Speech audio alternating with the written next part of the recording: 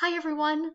We've got some fun stuff going on this week. First, we're starting out with our student presentations, the group presentations where you are talking about uh, filming and Lord of the Rings. Then we're watching Lord of the Rings and analyzing it and thinking about the different ways that the fantastic is transformed through the media of film. And finally, we're ending the week off with some extra credit where you all get to celebrate Hobbit Day that is the day that both Frodo and Bilbo have a birthday, which isn't always apparent in the movies. It is both of their birthdays. And you get to celebrate a little bit of that too.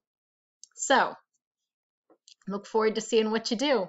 When you go to the learning units for this week, don't forget that the films can be accessed right here. Right here we have links to free versions of the films. If any of you have other free links that you want to share with the class, please let me know and I'll put them up. Or if you have your own links to these videos that you want to use, by all means use those. But here are the links. And then we have our